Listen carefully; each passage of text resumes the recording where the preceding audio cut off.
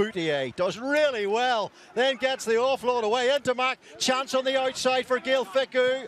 Just checks his pace, and then he gets checked by Johnny Sexton. But Dupont is there, and they score the French. And it's Dupont's halfback partner. The Guinness Six Nations began 40 weeks ago, and now here we are, match 15 at last, and Ireland will take the trophy if they beat France by seven points or more tonight. In fact, an exact six point margin will do if Ireland score one try to take them beyond England's try total. Irish victories in Paris have been more common in recent times, but the longer toothed Ireland fans will well remember the decades of demoralising and punishing victories.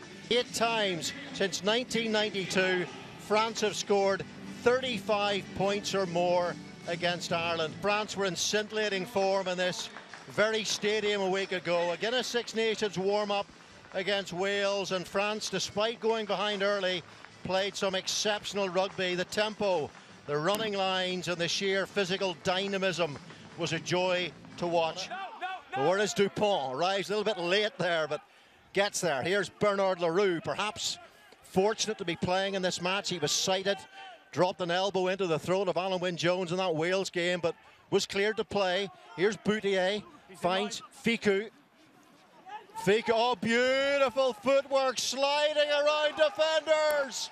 Oh, he has sliced his way through that Irish wide out defence, and Antoine Dupont he is the man who runs those sensational support lines over and over and over again, and Dupont is in the right place again.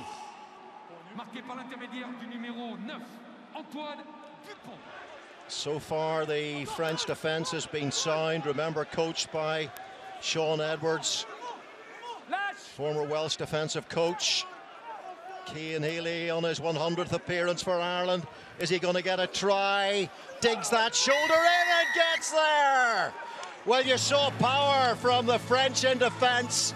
Now you see the power from the Irish in attack. And on his ton, Cian Healy gets a score.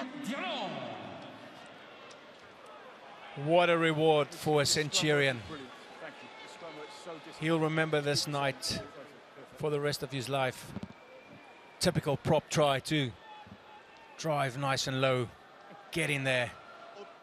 France are down a man though, so they're attacking here with 14 players and they're missing a playmaker. They've got an advantage though. Here's Dupont, Cyril Baille, Vakatawa, little tip on. And Stockdale again, and they're through here. Well, that that's going to be a penalty try, surely, and it is Wayne Barnes straight under the post. Cros is tackled off the ball, and there was no hesitation there from Wayne Barnes. And of course, there has to be the yellow card as well, if it's clear and obvious. It, it, very much was. Ireland down to 14 men as well. How quickly things can change.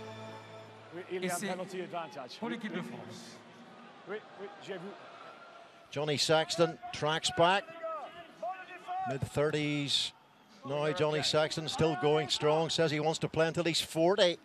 Bouthier does really well, then gets the offload away into Mack. Chance on the outside for Gael Fickou.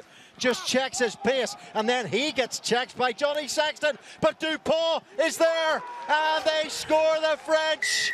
And it's Dupont's halfback partner, his Toulouse halfback partner, it's Romain Ntamack who gets the try.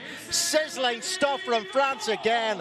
And it's all about taking your opportunities, converting chances. That is what France have done. Well, the, the, visits to the 22 from Ireland, you know, they've spent a lot of time, 4 minutes 11 seconds, but there hasn't been the return. No, only the one try.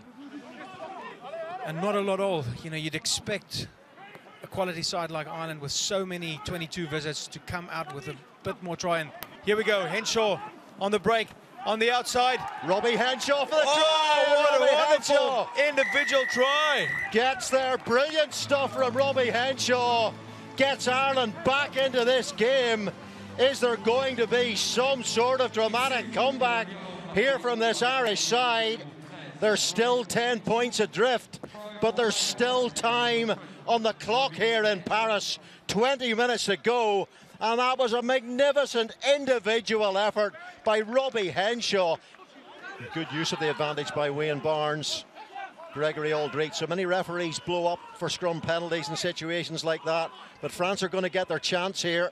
And it's Ntamack into the space, and he gathers. Look at the pace of Ntamack to Vakatawa. Stand well back, everybody, because that is a different class from France. On the left foot, kind bounce. Vakatawa running the support line. Fabulous try again. What a little chip from Ntamack. It reminded me of the, the, the Finn Russell chip for Vakatawa's try in the in the in the European game. Well, Teddy Thomas last. Teddy Yeah. Thomas last week against Wales. Clearly, Floxel here has been working, and it's on the left foot. Great bounce. transformé par le numéro 10, Romain Ntamack. Gibson Park, Robbie Henshaw scored that really bullish try. Now Ross Byrne on the outside now Hugo Keenan gets the offload away to Stockdale who's through. Jacob Stockdale on the blow adds to his really impressive tally of tries for Ireland. That's number 17. A little bit of a consolation. It's not going to be another victory for Ireland in Paris. It most certainly is not going to be another Guinness Six Nations Championship. That is going to go the way of England.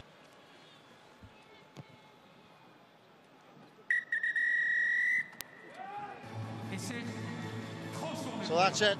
It's a game that deserved to be punctuated with a final try. And there is confirmation of the full time score. France 35, Ireland 27. England are your Guinness Six Nations champions.